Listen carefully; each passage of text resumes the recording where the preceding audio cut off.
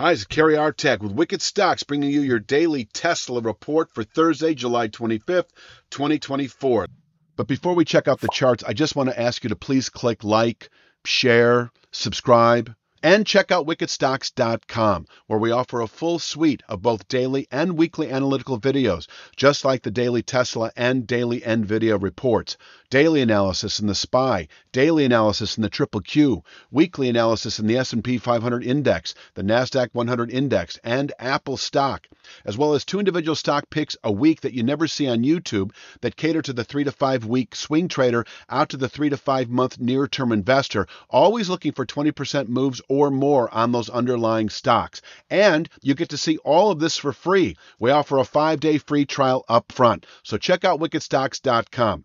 Let's take a look at the charts. I just want to talk 30 seconds about the fact that this 203.83 descending one year channel top that we settled above a month ago, it's actually 202.89 on the daily chart. If you want to squeeze 203.83 in there as a minor point, you have my blessing. Just with presently heightened volatility, I want to give the market plenty of room to breathe and test the same exact formation, but on the daily chart at 202.89. Uh, this is an area that can contain selling, uh, quite possibly through the rest of the year. From here, we can round up. I don't see a V shaped rally out of here, but we could spend a week or two down here before rounding back up and then uh, quite possibly reaching 328.12 by the end of the year. But that's looking increasingly unlikely, at least in terms of the time horizon, not so much the objective itself. So 3, 203.83 is 202.89 on the daily chart, and I can show here um, this. Uh, there, there we have it. We gapped obviously below the 243.01, rising one third speed line. Um, that has set up 202.89 as a one to two week objective. Um, and in fact, if you're looking at this uh, formation here, let me go back to this. This is what I think is the big picture. Now I'm going to talk about 210.69 in a moment uh, because we're just above it right now. But I really think, given the present volatility, the gap below this congestive zone, I do think the writing is on the wall. This market wants to test the 190.98 to 202.89 region, uh, possibly today. Uh, but over the next, uh, I'd say by the end of next week anyway. And, you know, with regard to speed line analysis, when you close below the rising one third speed line, that is 243.01, your objective becomes the rising two third speed line, 190.98.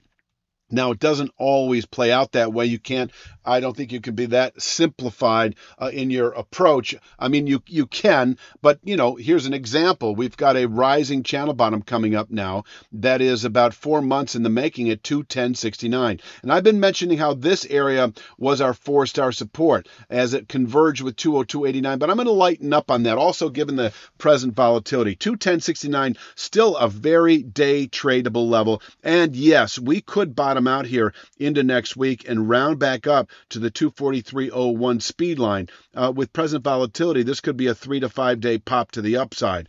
Um, but 210.69, I'm just going to call it a good day trade level. If you're looking to buy the market below present price levels, this is your next test. Now, given what played out on Wednesday, we could conceivably gap below 210.69. Although I don't think that is likely, um, but we um, we could break 210.69. And if we do break 210.69 today, I do see by the closing bell a very real possibility of testing 202.89. And 202.89 is uh, the start of a narrowing zone of long term support down to 190.98. This area all converges by August 7th. It can absorb selling through the third quarter and even into later year. And from here, as I said, once we test this area, we could consolidate for a while, for a spell, maybe three to five days before uh, presumably then turning higher. And we'll be obviously looking for the buy signals as we come off of this support area. Needless to say, closing below 190.98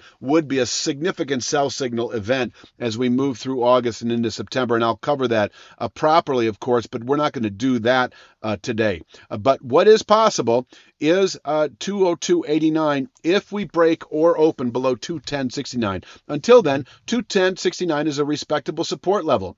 If we didn't have all the, the speed lines and the long term channel top below the market, you know, when we longer term support levels sort of draw the market to them like a magnet. 21069 is not a long term support, more midterm. So it is more susceptible to violation. And given what's played out here over the last 24 hours, I think we should allow that possibility. But nonetheless, I'm not trying to dissuade day traders. If you're a day trader, an aggressive day trader, or a day trader looking for the trade of the day, it really is 21069 in the present vicinity. And working our way up, uh, we do have, where is it? Uh, here we are. Uh, we do have a newly formed descending one third speed line at 229.28, and that is up here we could see that level today, um, opening unchanged or higher on the day. We could make our way up. We also have 222.64. Uh, and uh, please forgive me, I forget what that is, and it's not shown anywhere on our charts. It can contain intraday buying pressures. If we push through 222.64, 229.28 is likely today. This newly formed descending one third speed line can contain daily buying pressures, and if we close above 229.28, we have a good low for the week. We should, within three to five days, push into this zone of 243.01, the long term speed line, and 251.16 this newly formed descending channel top, uh, which is based in part on yesterday's low. So uh, closing above 229.28, no good reason to be short Tesla. If you're a three to five day swing trader, you're then anticipating uh, really kind of the mid to upper 240s within three to five days, where we could top out on a weekly basis and if settled above, would set up a meaningful uh, rally as we move into later August. But not, I don't want to get too far ahead of myself just yet. If I were looking at two levels to trade today, it's buying 210.69 and selling 210 229.28. And if we close above 229.28, and if you're short, reverse, go long uh, for the next few days into the upper 240s. Now for the downside, once again, I will remind you that if we break 210.69, this 202.89 long-term channel top is in reach, and that looks more like this on the daily chart. So that would be in reach today if we happen to break below the 210.69 level.